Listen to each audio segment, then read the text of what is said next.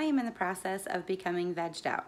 Now what that means is I am implementing a whole food, plant-based diet into my life to help reclaim my health get more energy, feel good in my body, and also help with my anxiety.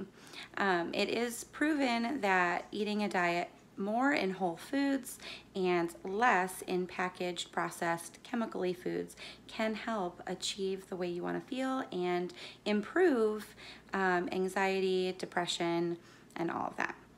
I am currently lacto-ovo vegetarian. I am transitioning into veganism one day, but I'm letting my body do the talking and she can tell me when she's ready for what.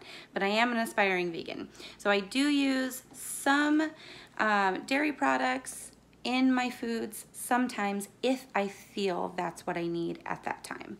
Um, but I've also been dabbling with a lot more vegan recipes and um, just watching a recipe come together with all whole foods and it tastes wonderful is pretty exciting. So with all of that being said, I am just going to take you guys on family taco night tonight and show you what it looks like to be a vegetarian in a house full of meat eaters.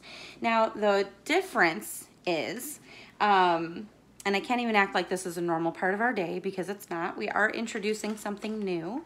Um, my husband said he wants to eat the things that I eat for a week, so he's going to try this with me as well. But I did get barbecue flavored jackfruit. Now, Midwest Foodie Girl on Instagram, I got the inspiration from her. I've seen it in the stores, but she's helped given me the courage to take the plunge. Um, she tried it last week and she put it on tacos and she said it was actually pretty good. So we are going to be trying that tonight. Um, oh, let me take that back. We're not doing tacos, we're doing tostadas, but it is Taco Tuesday, so there's that.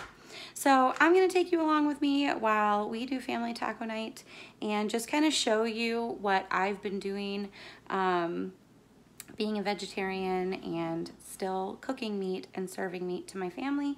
And I'll let you know what we think of jackfruit. So hold on tight. It's gonna be a ride. So I just wanted to show you what I have going so far. This is going to be the bulk of our tostadas. And I don't have as many veggies as I wanted to. So usually you can just pile them high with peppers and tomatoes and all that. But I digress. So this is, I don't know if it'll be enough for all of us, but this is about four cans of just these Bush's pinto beans. And I seasoned them up with some adobo, chili powder, cumin, onion powder, garlic. I think that's it. And I'm just gonna let them boil. I used the liquid in the can too. But I'm just gonna let them boil and cook a little bit, maybe add some vegetable broth, and then I'm just going to mash them with my potato masher. Kind of make my version of uh, refried beans, but there won't be any lard in it and there won't be any yucky stuff. So that'll be it. I made them last week and they were actually really, really good. So that'll be the base of our tostada. And then in here, I have some rice cooking with some, um, just with, excuse my mess, just with some salsa and a few of the same seasonings that I put in here. So now I'm going to get some ground beef going and some jackfruit going. Oh, and I have got some corn, ooh, some corn roasting in the oven there. So should be good. I'll check back in in a little bit and show you what else we got going. Okay, so here's the finished product. This one is actually my jackfruit tostada. I did decide to go for cheese and sour cream because it's tostadas and that's yummy. Um, so there's the jackfruit. I tasted it on its own and it's pretty good. The texture is nice.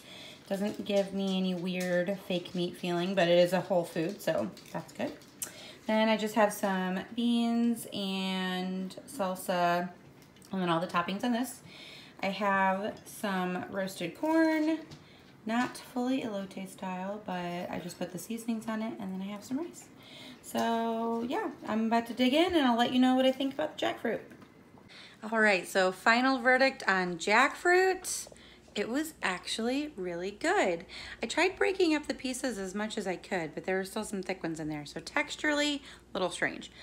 But when it's really shredded up, um, I mean, it really can pass as pulled pork or taco meat or whatever. It was really, really, really good. I was pleasantly surprised. So I had a couple tostadas with some jackfruit on it and then one with just beans. Um, of course, my beans thickened up perfectly by the time we were done eating, but you know, I'm still learning. Also, I don't think I showed you guys, um, I had all that, you know, I had the beans, the jackfruit, the rice. We had all of our taco toppings. Um, and then I just cooked up some ground beef and seasoned it just with the same kind of seasonings I put in the beans. So like chili powder, cumin, garlic, onion, maybe a little adobo. Let them kind of simmer down with some water. And then I just had that on the side for the, for the kids or anyone that really wanted it. Um, although my husband ate beans and jackfruit and really, really liked it. So that's awesome. Uh, so yeah, all in all, tostada night was a success. It was delicious. Our bellies are full. We do have leftovers of beans, so that's awesome. And yeah, so we've got another recipe for the repertoire and it was mwah. So thank you guys for watching. Don't be afraid to, don't be afraid to try jackfruit. And until next time, I send you peace, love, and veggies. Bye. Wait, I forgot an important thing. If you liked what you watched today and you want to see more videos like this, don't forget to subscribe. Okay, bye for real now.